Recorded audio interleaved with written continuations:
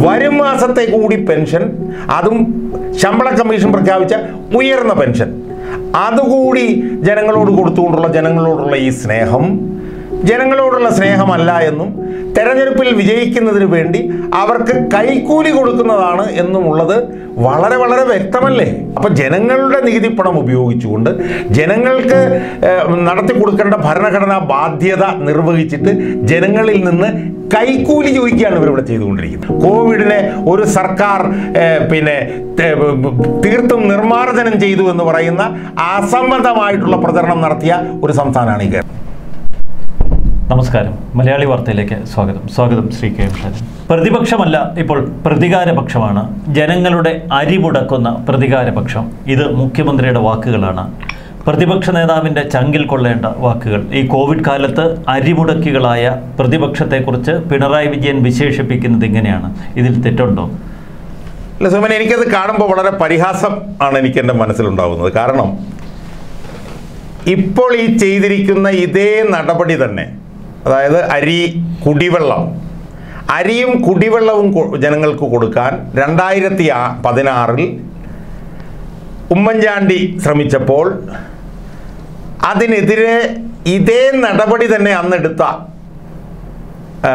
പാർട്ടിയായിരുന്നു C P M. അതിന്റെ സംസ്ഥാന secretary ആയിരുന്നു പിണറായി വിജയൻ. ഇന്ന് കോവിഡ് കാലമാണ്.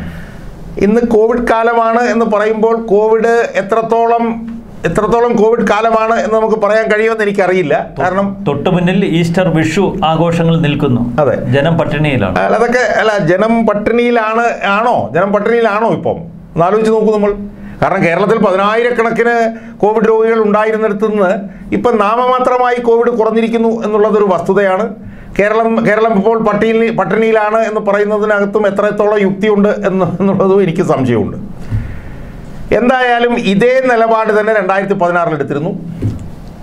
രണ്ടായിരത്തി പതിനാറിൽ എടുത്തപ്പോൾ അന്ന് മുഖ്യമന്ത്രിയായിരുന്ന ഉമ്മൻചാണ്ടി പ്രതിപക്ഷത്തിനെതിരെ എന്തൊക്കെ പറഞ്ഞോ അതേ വാചകങ്ങൾ തന്നെയാണ് ഇന്ന് ആ കസേരയിലിരിക്കുന്ന പിണറായി വിജയൻ ഉമ്മൻചാണ്ടിയോട് പറയുന്നത് എന്നുള്ളത് ഞാനിപ്പോൾ പത്രക്കട്ടിങ് ഞാനിപ്പോൾ വായിച്ചുകൊണ്ടിരിക്കുകയായിരുന്നു.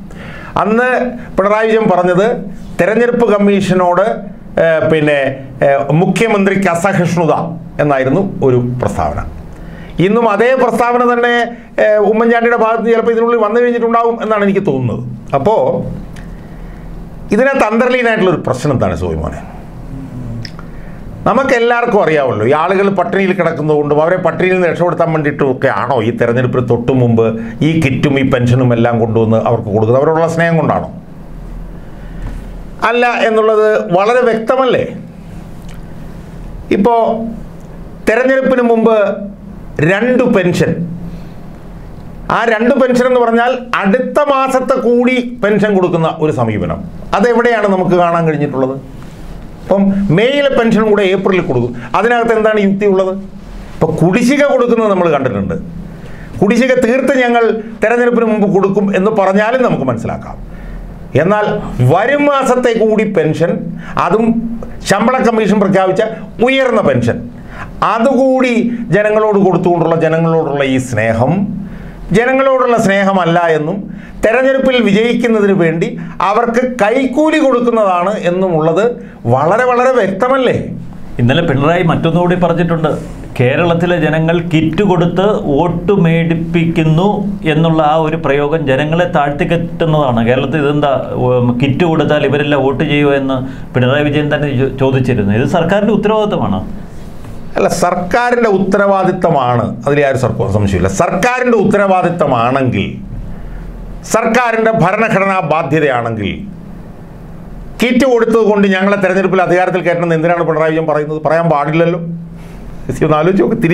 പ്രതിപക്ഷം പറയുന്നു കിറ്റ് വിതരണം ചെയ്തുകൊണ്ട് വോട്ട് മേടിക്കുകയാണ് പിണറായി വിജയൻ ചെയ്യുന്നത്. അതിപ്പോൾ അതെന്തുകൊണ്ടാണ് പറഞ്ഞത്? അതിപ്പോൾ ഈ തെരഞ്ഞെടുപ്പിന് തൊട്ടു മുമ്പ് കൂടുതൽ ഇനങ്ങളൊക്കെ ഉൾപ്പെടുത്തി ഇപ്പോൾ കൊടുക്കുന്ന ഈ വിതരണത്തെ കുറിച്ചിട്ടാണ് അവരുടെ വാദം. അത് ഈസ്റ്റർ വിഷു ആഘോഷങ്ങൾക്കാണ്. ഒൻപത് ഐറ്റം ഉണ്ടായിരുന്നു ഇപ്പൊ പതിനാല് ഐറ്റം. അതെ. അതിനെ അതിനെ കുറിച്ചിട്ടാണ് ഇപ്പോൾ പറഞ്ഞത്. അതായത് തെരഞ്ഞെടുപ്പിന് തൊട്ട് മുമ്പ് ഇത് കൊടുക്കുന്നു. ഇതിനെ കുറിച്ചിട്ടാണ് അവരുടെ ആക്ഷേപം. പക്ഷേ കേരളത്തിലെ ഇടതുപക്ഷ ജനാധിപത്യ മുന്നണിയുടെ ഏറ്റവും പ്രധാനപ്പെട്ട തെരഞ്ഞെടുപ്പ് രംഗത്ത് അവരെ ഉയർത്തുന്ന ഏറ്റവും പ്രധാനപ്പെട്ട വാദം എന്ന് പറയുന്നത് ഞങ്ങൾ കിറ്റ് കൊടുത്തു ഞങ്ങൾ പെൻഷൻ കൊടുത്തു എന്നുള്ളതാണ്. അപ്പോൾ ഈ വാദം പിണറായി വിജയൻ ഇന്നലെ പറഞ്ഞ വാദം അംഗീകരിക്കുകയാണെങ്കിൽ തെരഞ്ഞെടുപ്പ് രംഗത്ത് ഞങ്ങൾ കിറ്റ് കൊടുത്തു പെൻഷൻ കൊടുത്തു എന്നുള്ളത് കൊണ്ട് ഞങ്ങളെ അടുത്തവണ അധികാരത്തിൽ കയറ്റണമെന്നുള്ള വാദമുഖം സി പി എം പിൻവലിച്ചല്ലേ മതിയാവൂ? ഈ ഒന്ന് ഒന്നുകൂടെ ഞാൻ ചോദിക്കട്ടെ. ഇനി ഇങ്ങനെ ഇങ്ങനെ പെൻഷൻ കൊടുത്തു ഞങ്ങൾ കിറ്റ് കൊടുത്തു എന്നുള്ളത് കൊണ്ടാണെങ്കിൽ ഈ രാജ്യത്ത് സ്റ്റാറ്റ്യൂട്ടറി പെൻഷൻ പിന്നെ റേഷനിങ് സമ്പ്രദായം കൊണ്ടുവന്നത് കോൺഗ്രസ് അല്ലേ സ്റ്റാറ്റ്യൂട്ടറി റേഷനിങ് സമ്പ്രദായത്തിൽ എല്ലാവർക്കും അർഹരായ എല്ലാവർക്കും റേഷൻ വിതരണം നടത്തണം എന്ന് അഖിലേന്ത്യാ തലത്തിൽ തന്നെ തീരുമാനമെടുത്തിട്ടുള്ളത് കോൺഗ്രസ് അല്ലേ? അപ്പോൾ കോൺഗ്രസിന് പറഞ്ഞുകൂടെ? ഇന്ത്യയിൽ മുഴുവൻ പേർക്കും അർഹരായവർക്കെല്ലാം പിന്നെ റേഷൻ കൊടുക്കണമെന്ന് തീരുമാനിച്ച ഞങ്ങളാണ്. ഞങ്ങൾക്ക് വോട്ട് തരണമെന്ന്. അപ്പോൾ അതിനകത്ത് ഒരു യുക്തിയില്ലായ്മയുണ്ട്. എന്ന് മാത്രമല്ല സി പി എംകാരും സി പി എം നേതാക്കളും മനസ്സിലാക്കേണ്ട ഒരു കാര്യം. അവർ ഇക്കണ്ട കാലം അത്രയും പറഞ്ഞുകൊണ്ട് നടന്നിരുന്നത് എന്താണ്? അവർ പറഞ്ഞുകൊണ്ട് നടന്നിരുന്നത് ഈ ഈ ഗുണഭോക്താക്കൾക്ക് ഓരോന്നും കൊടുത്ത് അവരെ കൂടെ നിർത്തുന്ന ഈ സമീപനം ഇത് കമ്മ്യൂണിസ്റ്റ് സമീപനമല്ല എന്നാണ് അവർ പറഞ്ഞു നടന്നിരുന്നത്. എന്ന് മാത്രമല്ല ഞാനിപ്പോൾ ഒരു വാർത്ത കണ്ടത്. ഈ പിന്നെ സൗജന്യ കോവിഡ് വാക്സിൻ വിതരണം ചെയ്യുന്നത് തെരഞ്ഞെടുപ്പ് പ്രഖ്യാ തെരഞ്ഞെടുപ്പ് വരാൻ പോകുന്ന സമയത്ത് സൗജന്യ കോവിഡ് വാക്സിൻ വിതരണം ചെയ്യുന്നത് തെരഞ്ഞെടുപ്പ് പെരുമാറ്റച്ചട്ട ലംഘനമാണെന്ന് സി പി എമ്മിന്റെ ദേശീയ സെക്രട്ടറി ആയിട്ടുള്ള സീതാറാം യെച്ചൂരി പ്രഖ്യാപിച്ചത് ഞാനിപ്പം ഇപ്പം ഇപ്പം ഞാൻ പത്ര ഒരു പത്രവാർത്ത കണ്ടതേ ഉള്ളൂ.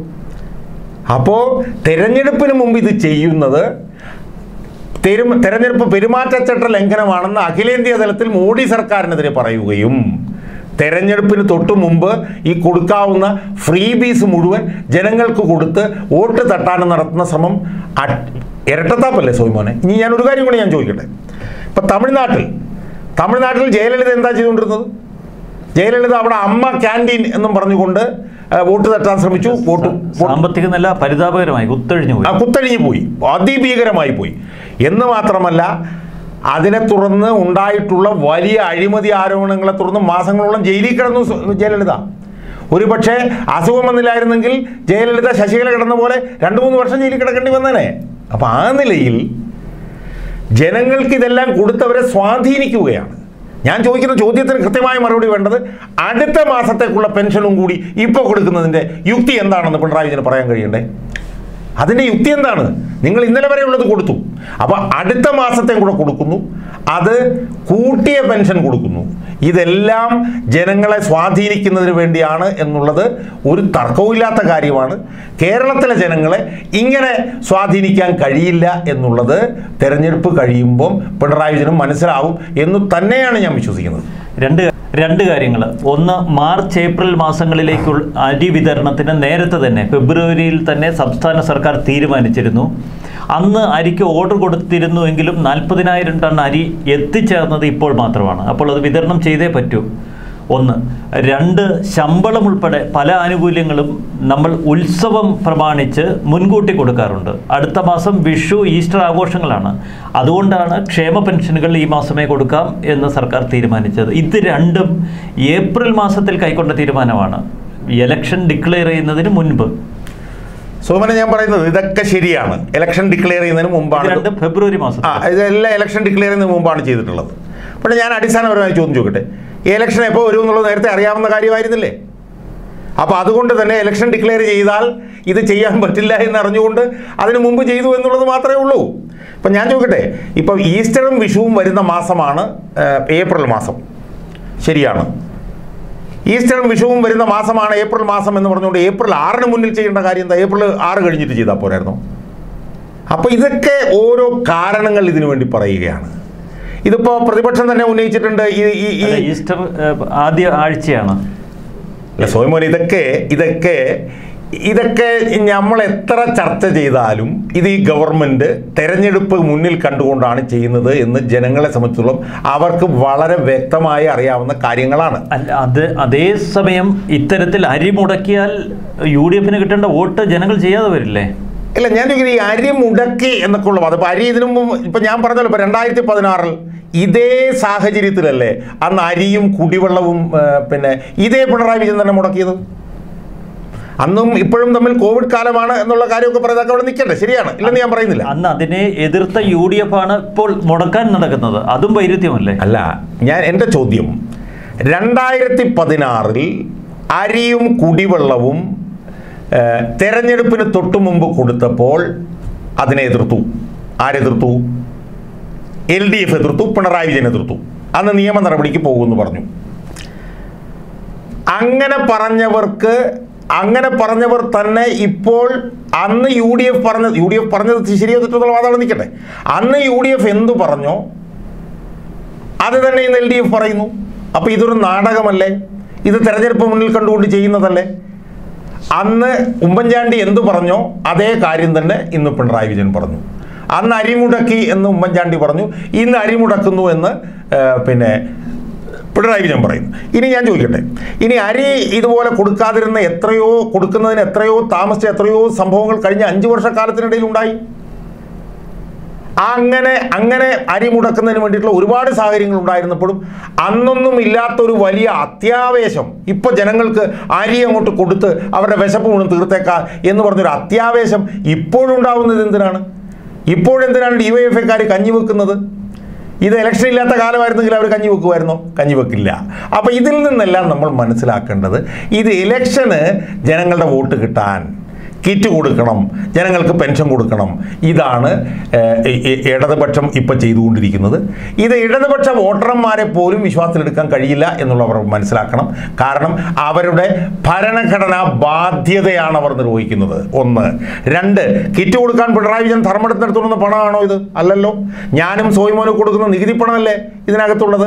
അപ്പം ജനങ്ങളുടെ നികുതി പണം ഉപയോഗിച്ചുകൊണ്ട് ജനങ്ങൾക്ക് നടത്തി കൊടുക്കേണ്ട ഭരണഘടനാ ബാധ്യത നിർവഹിച്ചിട്ട് ജനങ്ങളിൽ നിന്ന് കൈക്കൂലി ചോദിക്കുകയാണ് ഇവരിവിടെ ചെയ്തുകൊണ്ടിരിക്കുന്നത്. ഇത് മനസ്സിലാക്കാനുള്ള ബോധം ഒരുപക്ഷെ വടക്കേ ഇന്ത്യയിൽ ബീഹാറിലും ഉത്തർപ്രദേശിലുള്ള ജനങ്ങൾക്ക് ചിലപ്പോൾ ഇല്ലായിരിക്കാം. പക്ഷേ കേരളത്തിലെ ജനങ്ങൾക്ക് ആ ബോധമുണ്ട് എന്നുള്ളത് ഇവർ മനസ്സിലാക്കും എന്ന് തന്നെയാണ് എന്റെ പ്രതീക്ഷ.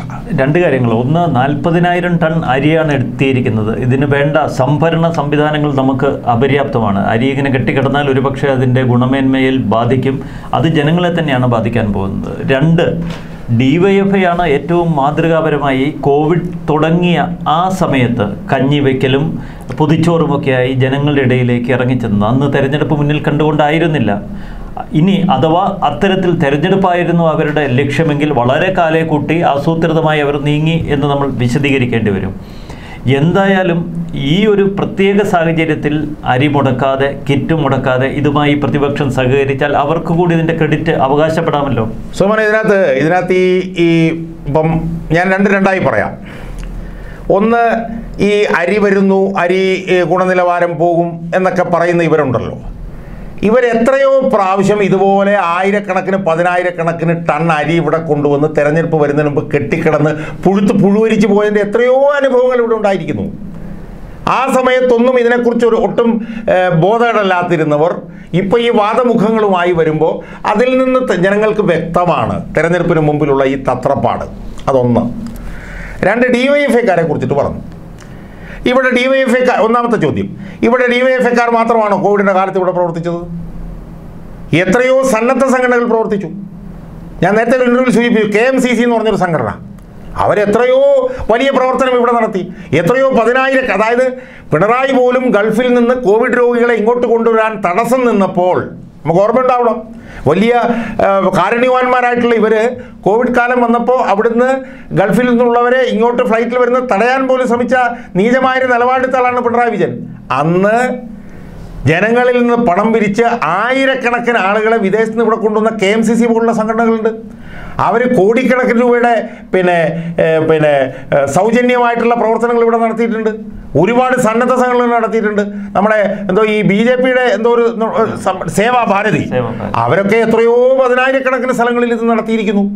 അപ്പം അതൊന്നും നമ്മൾ കാണാതെ ഡിവൈഎഫ്ഐ മാത്രം ഇത് നടത്തി എന്ന് പറയുന്നതിനകത്ത് ഒട്ടും യുക്തിയില്ല എന്നുള്ളത് ഒന്നാമത്തെ കാര്യം. രണ്ടാമത്തെ കാര്യം സോയിമോൺ ഓർക്കേണ്ട ഒരു വിഷയമുണ്ട്. അത് രണ്ടായിരത്തി ഇരുപത് എനിക്ക് തോന്നുന്നു ഏപ്രിൽ മെയ് മാസങ്ങളിൽ സർക്കാർ നടത്തിയിട്ടുള്ള ഒരു ഒരു ഒരു പിന്നെ ക്യാമ്പയിനാണ്. എന്താണ്? കോവിഡിനെ ചവിട്ടി മെതിച്ചു. കോവിഡ് തീർന്നു എന്ന് പറഞ്ഞുകൊണ്ട് രണ്ടായിരത്തി ഇരുപത് മെയ് മാസം the corona corona virus slayer the എന്താണ് rock star health minister K K Shailaja എന്ന് പറഞ്ഞുകൊണ്ട് ലോകത്തിലാകെ ഒരു സ്ഥലത്ത് മാത്രമാണ് കോവിഡ് പൊട്ടിപ്പുറപ്പെടുത്തുന്നതിന് മുമ്പ് കോവിഡിനെ ഒരു സർക്കാർ പിന്നെ തീർത്തും നിർമ്മാർജനം ചെയ്തു എന്ന് പറയുന്ന അസംബന്ധമായിട്ടുള്ള പ്രചരണം നടത്തിയ ഒരു സംസ്ഥാനമാണ് ഈ കേരളം. ടൈം മാഗസിനിൽ അന്ന് ഫോട്ടോ ടൈം ഗാർഡിയൻ ഈ പറഞ്ഞ പോലെ സി എൻ എൻ ഈ പറഞ്ഞ പോലെ Al Jazeera. B B C. അങ്ങനെ ഓടി നടക്കായിരുന്നു നമ്മുടെ മന്ത്രി. അപ്പൊ ലോകത്ത് ഒരു സ്ഥലത്ത് ഒരു രാജ്യത്തും ഇല്ലാത്തതുപോലെ ദാ മറ്റെല്ലാ രാജ്യങ്ങളിലും പിന്നെ കോവിഡ് കാട്ടുതീ പോലെ പടരുമ്പോൾ ഇവിടെ കോവിഡിനെ അടിച്ചമർത്തി എന്ന് പറഞ്ഞുകൊണ്ട് ഒരു വലിയ പകർച്ചവ്യാധി വന്നപ്പോൾ അതിനെ രാഷ്ട്രീയമായി ഉപയോഗിച്ച് നികൃഷ്ടരായിട്ടുള്ള ഒരു രാഷ്ട്രീയ പാർട്ടിയാണ് കേരളത്തിലുള്ളത്. ലോകത്തൊരു രാജ്യം പോലും ഇതുപോലെ ഈ ഈ കോവിഡിനെ കോവിഡിനെ കോവിഡ് പടർന്നു പോകുമ്പോൾ അതിനെ ഇല്ലാതാക്കാൻ ശ്രമിച്ചു എന്ന് പറഞ്ഞ് രാഷ്ട്രീയ പ്രചരണം വേറൊരു രാജ്യത്തും നടത്തിയിട്ടില്ല. ഇന്ത്യയിൽ ഒരു സംസ്ഥാനവും നടത്തിയിട്ടില്ല. ഇപ്പം ഡൽഹിയൊക്കെ എത്രയോ വലിയ തോതിൽ അതിനെ തെരഞ്ഞെടുത്തി അവർ പോലും അത് രാഷ്ട്രീയ പ്രചരണായുധമാക്കിയില്ല. അത് രാഷ്ട്രീയ പ്രചരണാധി ആയുധമാക്കിയ നീചന്മാരും നികൃഷ്ടരുമായിട്ടുള്ള ഭരണകൂടമാണ് ഇവിടെ ഇരിക്കുന്നത്. അതുകൊണ്ട് തന്നെ അവർ ഈ നടത്തുന്ന ഇപ്പം നടത്തുന്ന ഈ ഗ്വാഗ്വാവിളികൾ ജനങ്ങൾക്ക് വേണ്ടി അവർ നടത്തുന്ന ഈ ഗ്വാഗ്വാവിളികൾ ജനങ്ങളെ അടി മുതൽ മുടി വരെ വഞ്ചിക്കാനാണെന്നുള്ളത് മനസ്സിലാകുന്ന രാഷ്ട്രീയ പ്രബുദ്ധരായിട്ടുള്ള ജനങ്ങളാണ് കേരളത്തിലുള്ളത്. അവരിതിലൊന്നും വിശ്വസിക്കാൻ പോകുന്നില്ല. അവർ കഴിഞ്ഞ അഞ്ച് വർഷക്കാലമായി കണ്ടുകൊണ്ടിരിക്കുന്ന പിണറായി വിജയൻ എന്താണെന്ന് അവർക്കറിയാം. അതിന്റെ അടിസ്ഥാനത്തിൽ അവർ വോട്ട് ചെയ്യാൻ പോകുന്നുള്ളൂ. വളരെ നന്ദി. നന്ദി ശ്രീ കെ എം ഷാജൻ